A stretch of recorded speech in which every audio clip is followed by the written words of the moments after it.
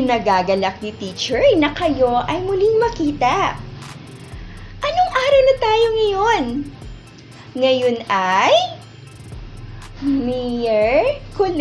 Tama! Ngayon ay Miyerkules. Kahapon naman.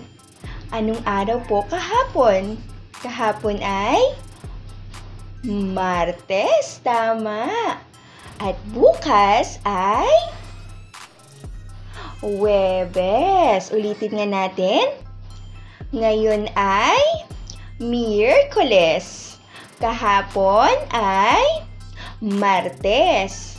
At bukas ay Webes. Ang galing! Ngayon ay Miyerkules. Ika, labing apat ng Oktubre, dalawang libo, dalawampu. At ngayong araw na ito ay mayroon naman tayong bagong aralin. Pero bago yan, maari bang itanong ni teacher kung naalala pa ang ating napag-aralan kahapon at nung nakaraang araw? Tungkol saan? Tama, tungkol sa tatlong pangunahing pangangailangan ng tao para sila ay mabuhay.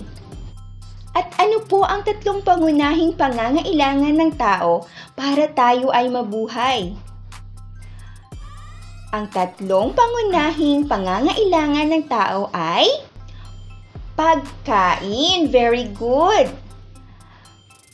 Tahanan o pwede nating tawaging tirahan o bahay. Ano pa?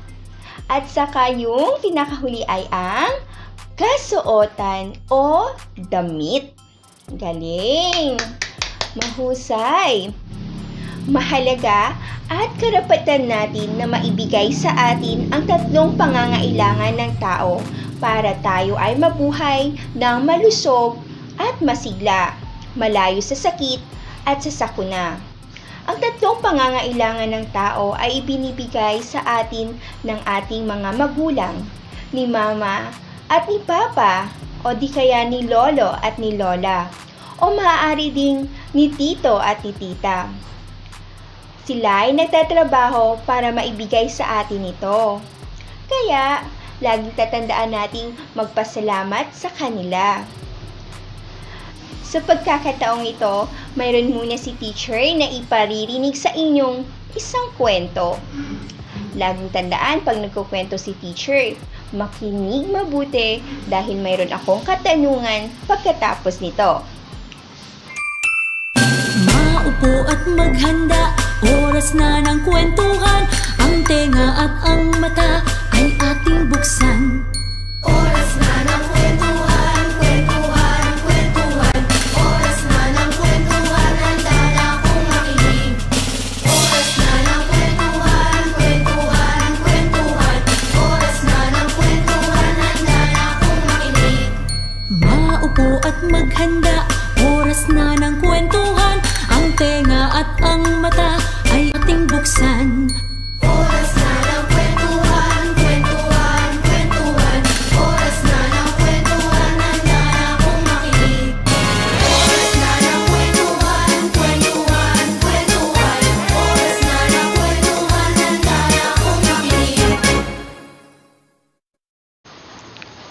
Mga tanong na kailangang sagutin pagkatapos ng kwento. Ano-ano ang mga ginagawa sa silid-aralan? Ano ang bagay na napulot ni Nina? Ano ang aral na natutunan natin sa kwento? Ang kwento ngayon ni teacher ay may pamagat na ang paborito kong kulay. Kwento ni Peniel Joy E. Antonio. Hudyat na ng pasukan. Nasasabik si Nina makita ang kanyang mga kamag-aral. Pagpasok sa silid-aralan, siya ay naupo sa isang kulay pulang upuan. Sabay binaba ang bag niyang kulay pula. Binati naman siya ng kanyang kamag-aral. Kamusta? Ako si Pia. Ang ganda naman ng laso mo, sabi ni Pia. Sabay sa turo sa ulo ni Nina. Salamat, Pia. Paborito ko kasi ang kulay pula. Ako nga pala si Nina. Sabay pakita ng mga gamit niya. Pulang panyo, pulang payong, mansanas, pulang gunting at iba pa. Tinawag na ng guro ang mga bata. Sabay-sabay silang nanalangin, umawit, tumula at sumayaw. Oras na ng kwentuhan. Awit ng mga bata sa pangunguna ng kanilang guro. Kinuha ng guro ang kulay pulang aklat at nagkwento. Tahimik na nakinig ang lahat. Maya-maya pa ay nagpuntahan na sa kanya-kanyang upuan ang mga bata. Nilabas ni Nina ang kulay pula niyang gunting at sinimulan na ang paggupit. Mga bata, ipasa na ang inyong mga gawa upang tayo ay makakain na, ang sabi ng guro. Matapos ipasa ang gawa at magdasal, nilabas na ni Nina ang masarap niyang mansanas. Napansin ni Pia ang dumi sa bibig ni Nina. Nina, punasan mo ang bibig mo, ang wika niya. Nilabas ni Nina ang kanyang pulang panyo at ipinunas sa kanyang bibig. Mga bata, pagkatapos yung magligpit ng pinagkainan, maaari na kayong umupumuli at makinig sa akin, ang sabi ng guro. Sa pagsunod ni Nina sa kanyang mga kamag-aral, ay napansin ito na may nahulog na pulang pambura ng lapis. Ibinigay niya ito sa guro. Salamat Nina at ibinalik mo ang pambura ng iyong kamag-aral, sabi ng guro.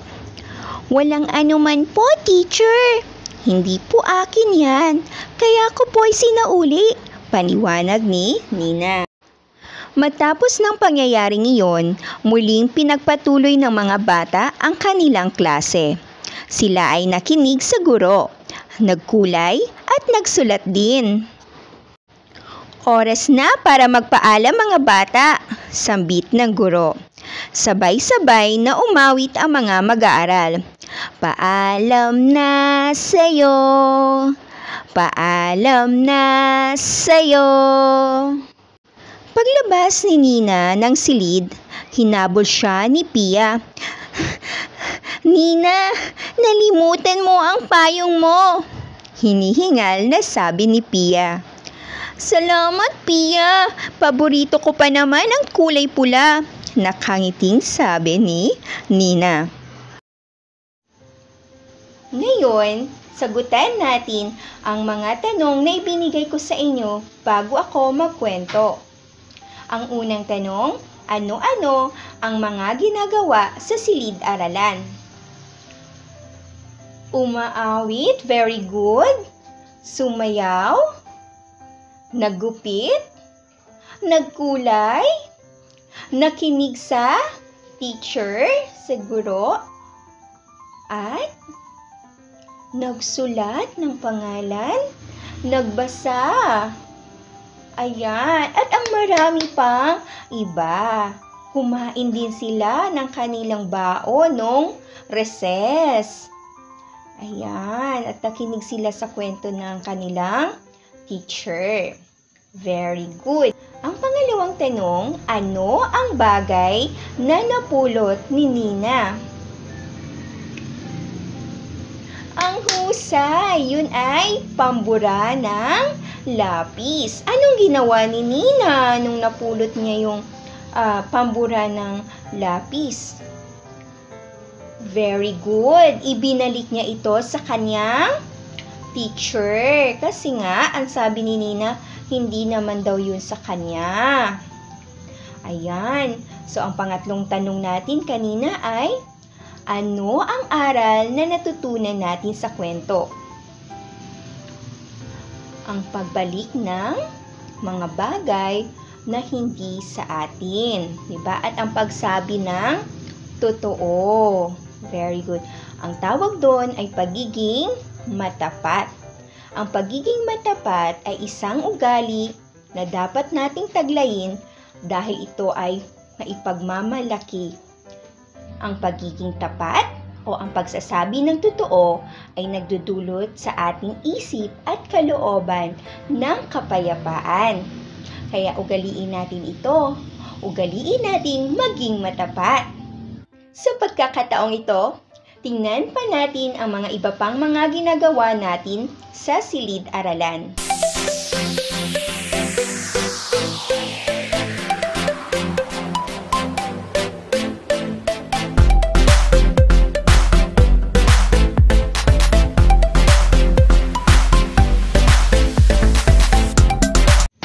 Ngayong alam nyo na ang mga ginagawa natin sa silid-aralan, subukan natin ito. Lagyan ng check ang larawan kung ito ay ginagawa sa silid-aralan at X naman kung hindi.